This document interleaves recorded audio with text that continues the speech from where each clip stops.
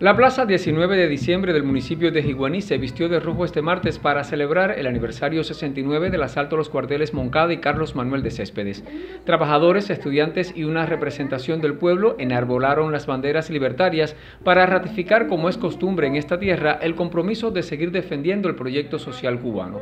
Samuel Arias Cisneros, miembro del Comité Provincial del Partido, y Michelle Tejeda Acuña, coordinador de programas y objetivos del Poder Popular, junto a las autoridades locales, acompañaron a los jiguaniceros en la cita que devino acto de reafirmación revolucionaria. En sus palabras, Karel Luis Trinchet, joven jiguanicero, expuso que las nuevas generaciones tienen la responsabilidad moral de mantener viva la revolución y su proceso de actualización para garantizar la continuidad y alcanzar el pleno desarrollo económico y social que se aspira. Organismos y entidades con resultados sobresalientes en la etapa, tanto en el ámbito productivo, social y sindical, fueron agasajados.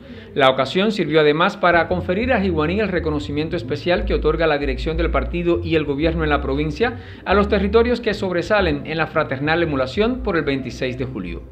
Como saludo a la fecha, fueron inaugurados dos puntos de ventas pertenecientes a las empresas porcina y agropecuaria, diseñados para la comercialización de productos cárnicos, viandas, frutas, jugos, néctares y otros surtidos de alta demanda popular.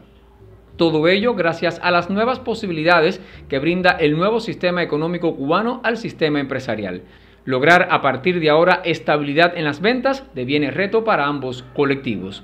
De igual forma, dos familias de bajos ingresos fueron beneficiadas con la entrega de sus viviendas construidas por la modalidad de subsidios.